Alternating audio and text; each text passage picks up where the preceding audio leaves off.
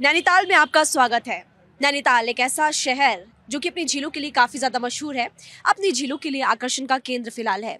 नमस्कार, आप देख रहे हैं भारत ट्वेंटी फोर। मैं हूँ महिमा सिंह कंवर और भारत ट्वेंटी फोर की टीम आज पहुँच चुकी है नैनीताल भारत के मन की बात करने। चुनाव को लेकर आखिर नैनीताल की जनता क्या कहती है? वैसे नैनीताल में मौजूद है, लेकिन यहाँ पर आपको सिर्फ़ नैनीताल के लोग ही नज़र नहीं आएँगे, बल्कि दूर दूर से लोग यहाँ पर इस वक्त घूमने के लिए पहुँचे हुए हैं। तो हो सकता है कि नैनीताल के अलावा देश के बाकी राज्यों से जो लोग यहाँ पर पहुँचे हुए हैं, उनके बारे में भी हम आपको बताएँ कि आज आखिर जो लोग यहाँ पर पहुँचे, वो क्या कह रहे हैं? आने वाले लोकसभा चुनाव को लेकर प्रधानमंत्री मोदी को किस तौर पर देखते क्या लगता है बीजेपी जीतेगी या दूसरा गठबंधन जीतेगा?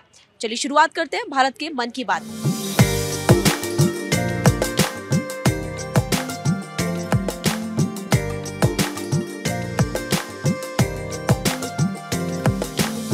मोदी का पूरा देश परिवार है मोदी का। 140 करोड़ जनसंख्या जो भी है मोदी का परिवार है। Very honest and very sincere, hardworking, and dedicated uh, PM. Modi ji 400 पार है और मोदी जी ही बनेंगे।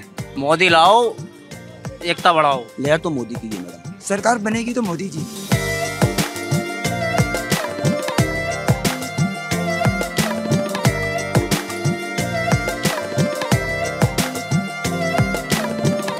जैसे कि हमने आपको बताया था कि यहाँ पर आपको सिर्फ़ नैनीताल के लोग ही नहीं मिलेंगे बल्कि दूर दूर से लोग पहुँचे हुए हैं। आप यहीं के रहने वाले हैं या फिर बाहर से आए हैं? मैं बरेली यूपी से।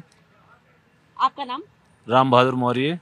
राम जी आप ये बताइए लोकसभा चुनाव को लेकर आपको क्या लग रहा है इस बार? लहर किसकी लग रही है? आपके यूपी में के बारे में भी बता दीजिए और उत्तराखंड के बारे में। यूपी में तो मुझे बीजेपी की लहर लग रही है क्योंकि वहाँ पर शासन प्रशासन बहुत सख्त हो गया है। गुंडागिर्दी बिल्कुल खत्म हो गई है। और प्रधानमंत्री की भी शासनकाल बढ़िया चल रहा है। जो सारी योजना है धर्मनिरपेक्ष को बता के हो रही है सभी लोगों को मिल रही है। आप नैनीताल कब घूमने आए? मैं नैनीताल कल आया था। कैसा लगा नैनीताल? बहुत बढ़िया लगा। कई बार आ चुका हूँ इससे पहले भी। तो अकेले आए या फिर और भी कोई अकेले आया हूँ। सुविधाएँ आपको सही से मिल रही है? यहाँ पर जब पर्यटक नैनीताल आते हैं किसी तरह की दिक्कत उनको आती है? ना अभी तो कोई दिक्कत नहीं मिल रही। रोडवेज़ की थोड़ा प्रॉब्लम है। अभी मान लो अकेले आ रहा है टूरिस्ट गाड़ी नहीं मिल रही है तो रोडवेज़ की व्यवस्था होना चाहिए। हल्द्वानी या काठगोदाम से हर दस मिनट पे होनी चाहिए। उसमें बहुत दिक्कत हो रही है यात्रियों को। प्रधानमंत्री मोदी के कार्यकाल को कैसे देखते हैं आप? बहुत बढ़िया रहा उनका कार्यकाल। एक सुझाव देना चाह रहा हूँ आने वाले समय में जनसंख्या नियंत्रण कानून ज़रूर आना चाहिए। जिसके बारे में बात करते भी हैं वो कई बार बात कर चुके हैं। लागू होना चाहिए। जितनी जल्दी लागू हो जाए उतना बेहतर रहेगा देश के लिए। क्योंकि रोज़गार के अवसर कम है सबसे बड़ा कारण ये है जनसंख्या वृद्धि का। क्या लग रहा है इस बार जीत की हैट्रिक लगा पाएँगे प्रधानमंत्री मोदी? आपके मुताबिक? परसेंट लगा पाएँगे हंड्रेड परसेंट। दो सौ बहत्तर प्लस का आंकड़ा ज़रूर छुएँगे वो। वो तो कह रहे हैं चार सौ पार होगा। हाँ वो तो कह रहे हैं चार सौ मगर सरकार ज़रूर मोदी जी की बनेगी। अच्छा लेकिन चार सौ आपको लगता है कि कंफर्म नहीं लगता है हाँ कन्फर्म नहीं लगता है। लेकिन सरकार वही बनेगी। सरकार बीजेपी की बनेगी मोदी जी आएँगे तीसरी बार प्रधानमंत्री बनेंगे। विपक्षी गठबंधन को लेकर कुछ कहना चाहेंगे आप? कुछ नहीं कहेंगे किसी पार्टी का दूसरी वाली का विपक्ष का कोई भी स्टेटमेंट हो जाता है जैसे बदायूं में कांड हुआ था हमारे यहाँ यूपी में किसी पार्टी का कोई स्टेटमेंट नहीं था। और जब मुख्तार अंसारी मारा गया भू माफिया वो तो आतंकवादी समझ लो तो उसकी मजार पे उसकी कवर पे लोग फूल मालाएँ चढ़ाने गए थे। तो किसको देखा जाए फिर? इस तरह से। भाई धर्मेंद्र यादव भी गए अखिलेश जी भी गए स्वामी प्रसाद मौर्य भी गए थे और लोग भी गए थे सब पार्टियों के स्टेटमेंट थे कि गलत हुआ उसके साथ कि जहर दे दिया जबकि गवर्नमेंट ने बताया कि उसका उससे हुआ है हार्ट अटैक से। ये चीज़। आपने विपक्ष को देखा मोदी के परिवार को लेकर कहते हैं कि मोदी का कोई परिवार नहीं है तो उन्होंने कहा कि आम जनता जो है वही मेरा परिवार। हाँ मोदी का पूरा देश परिवार है मोदी का। 140 करोड़ जनसंख्या जो भी है मोदी का परिवार है। हम भी मोदी के परिवार में ही आते हैं। वोट वोट करोगे इस बार? जी जी। क्या लग रहा है सरकार किसकी बनेगी? देखते हैं वही आएगी जो आनी थी। जो आनी चाहिए वही आएगी। किसकी? बीजेपी। आपको लगता है वो आनी चाहिए? हाँ वैसे मुझे लगता है। 400 पार का नारा दिया है प्रधानमंत्री मोदी ने कि इस बार 400 पार होगा। आपको लगता है ऐसा होगा? जी जी होगा। कैसे लगते हैं प्रधानमंत्री मोदी? ठीक लगते हैं। ठीक लगते हैं। अच्छे अच्छे हैं बहुत अच्छे हैं। क्या चीज़ आपको उनकी अच्छी लगती है? सभी चीज़ अच्छी लगी है उनकी ऐसा कुछ- क्वालिटी होगी जो आपको लगता है कि नहीं प्रधानमंत्री की ये बात है भाई जो किसी में नहीं है।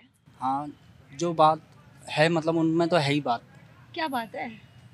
अब उनकी सरकार है हाँ। बात तो उन्हीं की है ना? ये है। मोदी का परिवार को लेकर आपने सुना ही होगा कि मोदी का कोई परिवार नहीं है।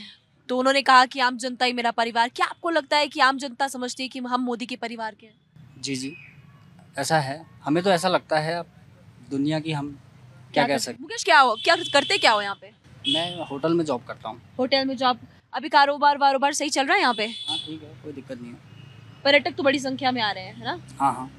ठीक है थैंक यू बात करने के लिए और अ, बात करोगे?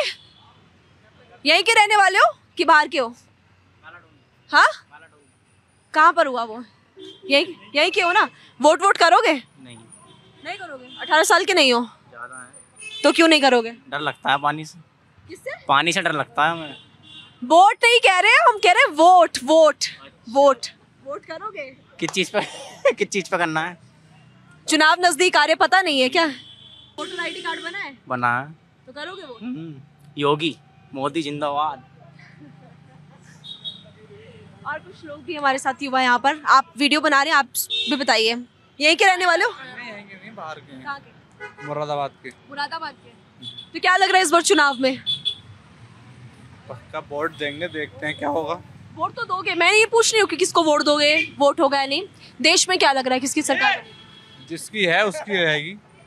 मोदी। मोदी की सरकार मोदी की? रही ऐसे ही लगेगा चांस है पूरे पूरे उसके। क्या लग रहा है कितनी सीट्स आ सकती है? चार सौ का पार का नारा उन्होंने दिया है। ज़्यादा आएँगी चार सौ से। चार सौ से ज़्यादा?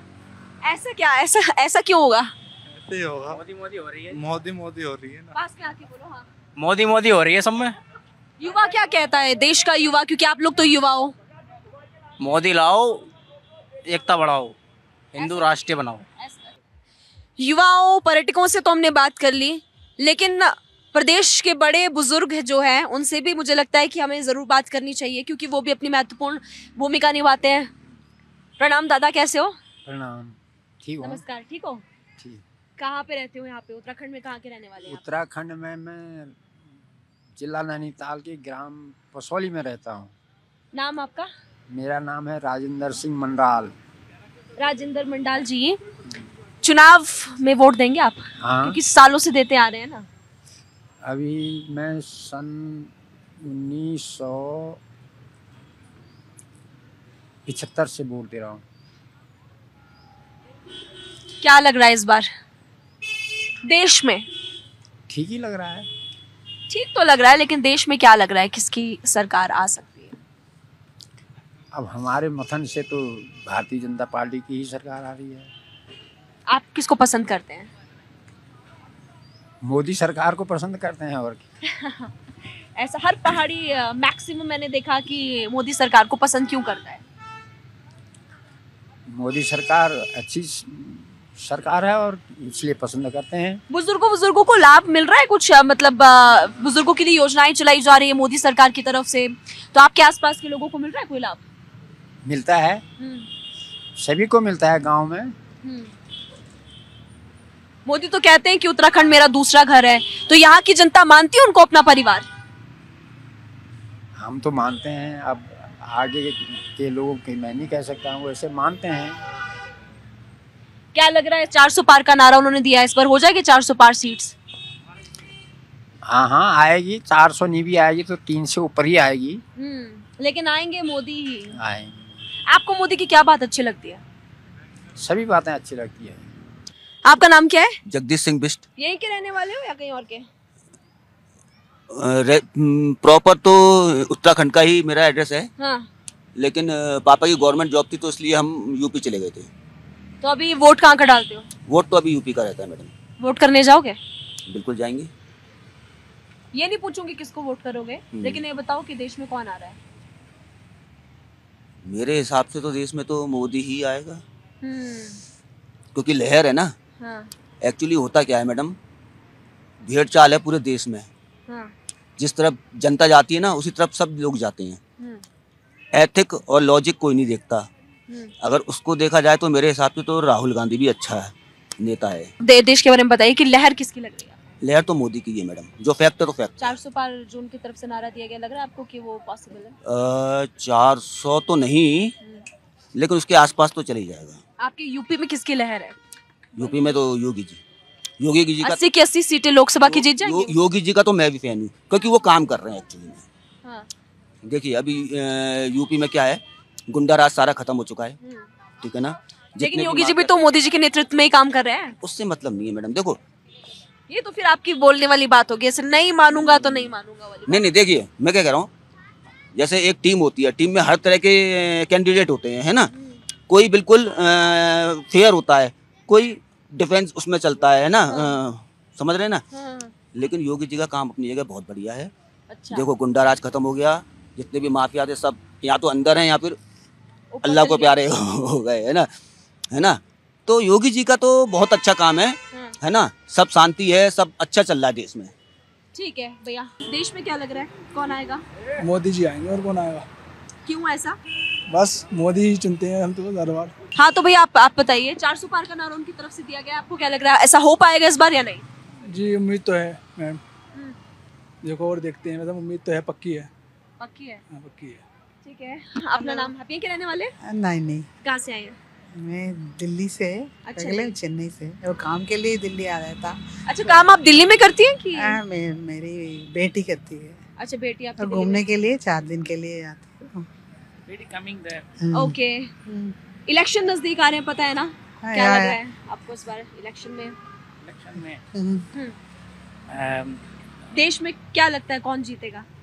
मोदी। मोदी? Yeah. ऐसा क्यों? अच्छा very fine आप बेसिकली चेन्नई कहाँ से Yeah, coming चेन्नई से आ रहे हैं। वहाँ पे तो गर्मी बहुत ज़्यादा होगी यहाँ पर ठंडा है? ए, हाँ टाइम कैसा लगा आपको नैनीताल? अच्छा है बहुत अच्छा है। आप दिल्ली में जॉब करती है ना? कब से कर रही है वहाँ पे दिल्ली में मैं अभी अभी आई हूँ। एक one year I was away and I just लग गया दिल्ली में मन?